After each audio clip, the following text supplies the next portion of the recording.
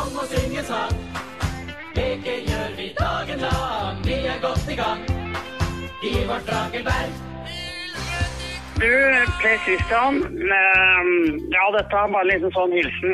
Det er egentlig fra Wemby, da, men han turte ikke, for eh, han var litt fri akkurat i dag. Men ehm, han ville veldig gjerne hilse spesielt til deg, selv om du ikke kunne komme i Andreas bursdag, fordi du sitter støkk nede i Spania eller et eller annet sånt. Men i alle fall, her er en spesialhilsen til deg fra eh, Wemby.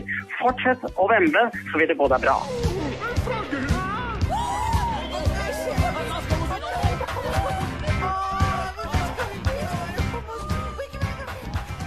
Som stedfortreder for uh, Wemby så hørte du eh, Gobo fra Fragelberget.